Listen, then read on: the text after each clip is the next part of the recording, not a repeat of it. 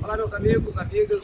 Estou aqui no pátio da Polícia Civil, estou com o nosso secretário Ramalho, nosso delegado-geral da Polícia Civil, doutor Arruda. Estamos aqui entregando 58 viaturas, viaturas para DHPP, viaturas para combate ao crime organizado, viaturas para estruturar as delegacias do interior do Estado. E já entregamos com essas 58, 2019, 2020, 227 viaturas para estruturar a Polícia Civil. Também já fizemos isso na Polícia Militar.